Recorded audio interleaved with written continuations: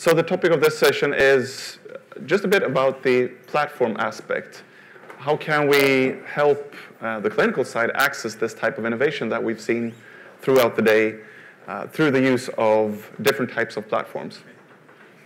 And uh, my name is Fredrik, and feel free to reach out afterwards if you want to have further discussions. So, as we've learned during the day, there's tremendous potential in AI.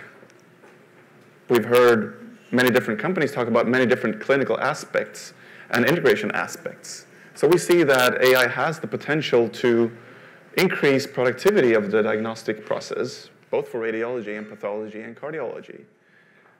We also see opportunities that the Kheiron guys talked about. Maybe AI can see more than a human can in some respect, different things, things that are not visible to the naked eye. And it has potential to improve the diagnostic consistency, to, to reduce variability between readers. And this is something that, when we talk to our customer base, there's a lot of interest and drive to adopt these things. But to some respect, I'm, I'm going to be the boring guy at this party. We are not really there. We're not at the point where we can just sit back, relax, and say, it's done and dusted. Let's go. When we talk to our customers, we find that there is, I, am not going to say fear, but, but there is a definite, definite concern about the barriers of adoption that prevents them from taking that leap to go from from research or from PowerPoints and presentations into the clinical routine. So what can we do to help bridge some of these barriers of adoption? I'd like to highlight three things, but I'd also like to highlight the role of the PACS. Now, I'm heavily biased, I'll, I'll, I'll give you that. But to a fair degree, I believe that PACS, or the Enterprise Imaging Platform, is where these things will fail or succeed. Because if you employ these different algorithms or innovations, and the result is that this is the everyday work for a radiologist, it's not going to work. If you have to jump between 10 different systems because you have 10 different algorithms, that's not going to work. So you need to find a way to bridge these difficulties and bring these systems into a whole. And that whole for many use cases would be the PACS or the enterprise imaging or the VNA system. So the first topic that I would like to raise is something that we've touched a couple of times during the day. How do we access this type of innovation? And what are these barriers that we hear vendors to, or, or the clinical representatives or the hospitals talk about? And I'd like to raise four, four topics or four aspects. So one is, what does it take to procure something? To do the contracting, to do the legal reviews, to have agreement on division of responsibility, division of, of support, labor. How do you contract this, this algorithm? And if you do it for, for one, does it scale? Can you do this for 10? A second topic regards your IT and infrastructure. Ninke raised that topic, and someone said, let's go cloud but it is a topic. You need to consider your IT strategy, your IT infrastructure. You need to ensure that these algorithms or products support your IT strategy, whether it's on-prem or whether it's cloud. And what about the security perspective? I had a discussion just over here a half an hour ago. Is maybe security an aspect? How, how much due diligence do you need to do to be comfortable having these applications in your ecosystem, regardless if it's on-prem or in the cloud. How do you audit them? And we've talked about integration all day. How do you get there?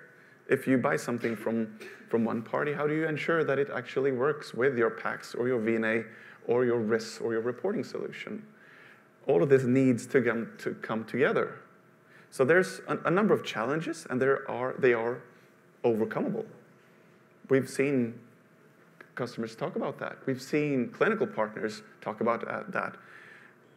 But it is a challenge, and it has scaling issues. It's fine to do for one, for two. But for 10 or 15, if, if we see that that is probably what healthcare needs down the line is a number of these algorithms that together create a whole. So we recognize that as a vendor, and throughout this year or, or the previous two years, we've had so many of our customers come to us to say, help us with this. We need to do this, but can we do it together? So we are moving into a position where we aim to solve this for our customers, to deliver these applications both on-prem as cloud services, depending on your IT strategy. This is not going to be the thing that drives a customer pure cloud. So we need to be supportive of the IT strategy that you have. And having a single point of contracting and billing and invoicing to be Sectra, regardless of who the clinical partner is. And for us to own up to security and integration. We can't be responsible for the clinical accuracy of these algorithms, but we can be responsible for making sure that integration actually works. We're sitting on both, both sides here. We're both providing access to the applications and the clinical workflows. So we're, we're equipped to take that responsibility. So in, in, in some respect, there are two components to it. One is providing a catalog of these applications. We've seen a bunch of them today. They will grow into more. And the other part is provisioning this into the hospital ecosystem, including the integration. So this is something, a journey that we're starting or, or in the early phase of now. Our aim is to run a couple of pilots this year. So if you do uh, find that I want to be in the forefront, I'm equipped and able to do this fairly short term. Reach out to your Sectra representatives to say, I want to be part of this. And I can't promise a seat for everyone, but we aim to do a handful of pilots this year on some different markets. So the timing is right. It's not going to be limited to that. We're going to move that into more markets and more products during the next year. But this is something that we're aiming to do now, and to do it together with our, our commercial partners and with our clinical partners. So this access to different application is the first example of an ecosystem. But we've talked about workflow integration all day. I'd like to highlight some of the benefits of doing it a standards way, doing it with an open way. And I'd like to do it by exemplifying two different perspectives, and we've talked about them throughout the day. One is the workflow perspective that we've seen, for instance, with Qure and a second one is about the diagnostic process, finding lesions, measuring lesions, and, and, and qualification of characteristics of lesions. So those two aspects I'd like to highlight a bit about what can we do through integrations. And you've seen much of that already during the sessions. So what can be done in terms of workflow? Well, you can use a workflow integration for many different things we've seen that you can map incoming data into a clinical urgency. You can use that in turn to maybe set an, an SLA or, or uh, count down that this needs to be reported within 15 minutes because it is really urgent, or within two hours because it, it is fairly urgent, and having the system show that to you as a user.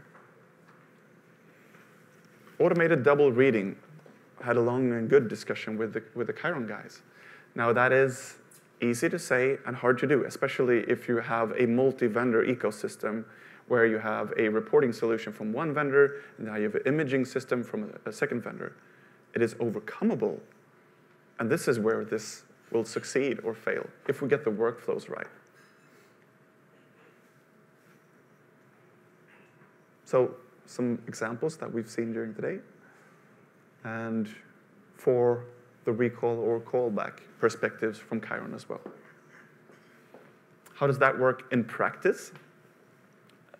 From a technology perspective, all we get inbound is HL7 and DICOM objects, just standardized. That gives us enough freedom of interpretation to solve, at least for now, the clinical needs we see. That in, in our system then has a standard input And then we have flexible business rules and scripting. So it's not going to be one place where you store these things. It's going to be hidden in different types of tags because the standard is fairly loose. So our system needs to be able to pull that information from different types of elements, from different HL7 codes or DICOM fields. But it's still standards-based. You can still send that from any system in, regardless if the vendor is Qure or if the vendor is Zebra. Same standardized inputs. Moving to the, the diagnostic process, we see a similar thing that we can have a, a single input and then have multiple diagnostic benefits in terms of integrating that into the image display, but also into the report. And generally, when we talk to these vendors, we're together doing a, a, journey from unstructured to structured data exchange. The starting point is usually, at least for companies that are new to the healthcare industry, that their, their output is a new set of images with burnt in things. And I think very few of the IT managers would jump for joy if I give you a thousand new images for every thousand slice chest CT. So that, that has issues of, of creating another set of DICOM images. More images to review, but also more images to store and, and handle. So during this, this collaborative process with the different vendors, we're generally coaching to say you can do something with metadata through DICOM. It is a, a pretty amazing standard. So you can do something like grayscale presentation states, where you store the metadata or the graphics you want to display and display that on top of the source image. So instead of half a gig of data, it's half a kilobyte of data. Not a thousand more images, but drawings and graphics and texts on top that a user can toggle on and off, show and hide, that can scale when you zoom. So that's the journey that we're doing together with these vendors is, is to together see how can we move from duplicating data into enriching data. And especially when you come down to the bottom tier where you say, I want to understand the data. It's not just text that I draw on top of images. I want to reason make, make reason and, and understand the data that we're exchanging. There we can start to do powerful things, as we've shown today. So when we're past structured data, for instance, in this case, information about a detected lung nodule, we can convert that into a measurement, a measurement that a user can interact with, show and hide, adjust, correct, move, delete. So it becomes alive, and we can interpret that information. We can also map that into a lesion concept to understand volumetric growth or placement of lesions across time and automatically insert that into a report because it's structured data that we can understand and interpret and not just blank text that is for us to display or not display.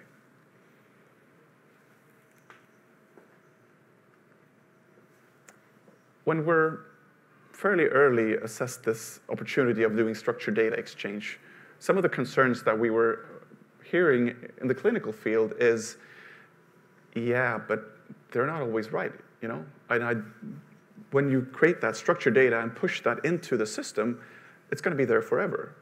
True or false? I need to be in control. We need to put the human in the middle of this pipeline to say, this is right and this is wrong. The sorting hat in the, in the Potter movies. So that's a concept that we're now exploring and building together with these different vendors. Again, in a standardized way. The input is an SR object that contains these, for us, unverified findings. It's up to a clinical professional to say, verified, approved, rejected, or ignored. Perhaps it's fine to ignore some lesions and, and let them be hanging there.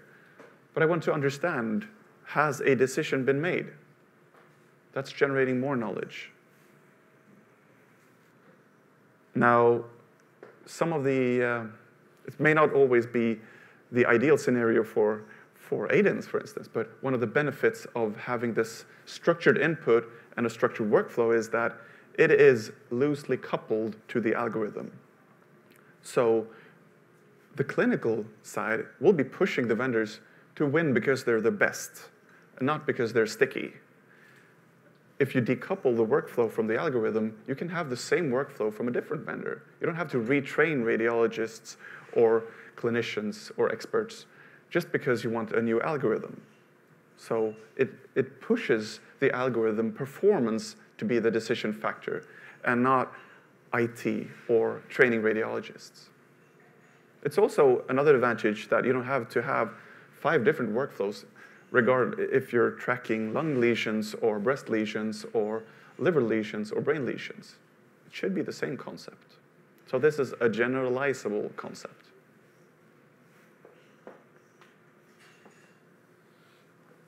So in theory, because that's brutally honest, in theory, we can now do structured data exchange with a number of different stakeholders. It could be upstream IT systems like an EMR, or it could be specialist systems. It could be cancer registries based on, for instance, FHIR as structured data exchange or common data elements to describe what the finding is. I think this is, here we're fairly early in the maturity journey but we're laying the foundation by creating structured data exchange between the algorithms and the PACS and VNA platforms. As the upstream systems mature and support the data exchange, I think that will happen down the line. But building for that future already now, I think, makes sense. Start collecting that structured data. And the importance of keeping the human in the loop is just as important for pathology. We talked about that during the morning. So we do some own development within pathology and also integrate third parties, but always with a human in the loop. Have it easy to correct and adjust because that's when you create a positive feedback loop. The algorithm performance can be improved based on what you teach it.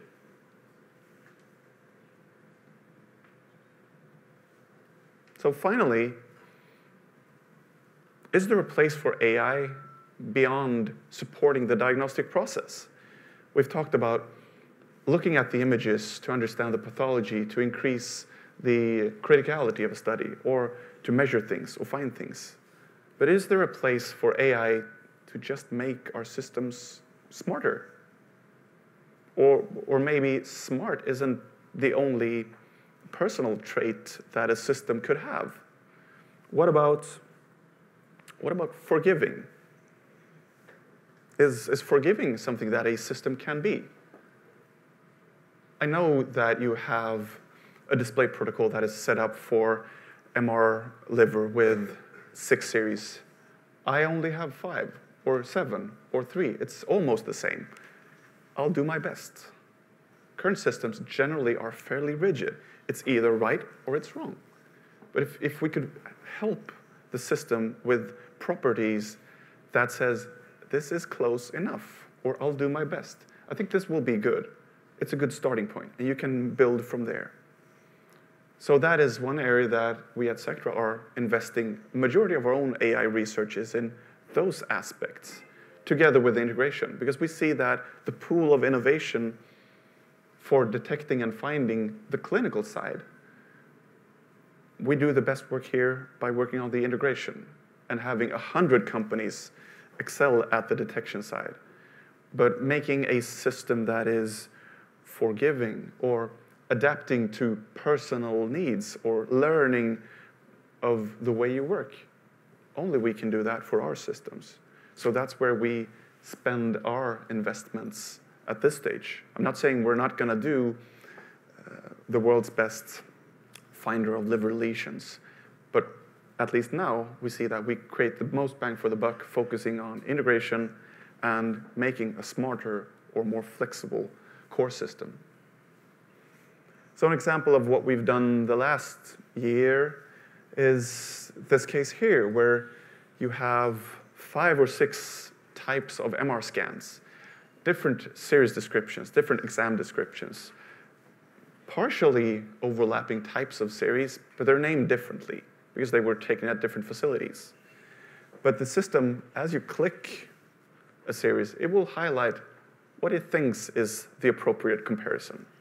And that's not based on, on, uh, on uh, having the same series description. It looks at all the DICOM tags and says, this is my best guess. I think this is what you should compare with. This is an example, and this is an area that we're putting big focus on because we see that as the complexity of the environment increases, more exchange of studies from the outside, having a system that is reliant on hard rules, it's bound to fail. So in the end, is that going to be all it takes for your, your clinical teams to access this global pool of innovation? Of course not. I think it's a good starting point. And we want to do this by, by again, tackling these three core concepts, helping with just provisioning of these algorithms, and making sure that we own up to the workflows, work together with these application developers to own up to the end result for the radiologists and pathologists. And spending our research investments into a smarter system, not just looking at the diagnostic findings. All right, that is it for me.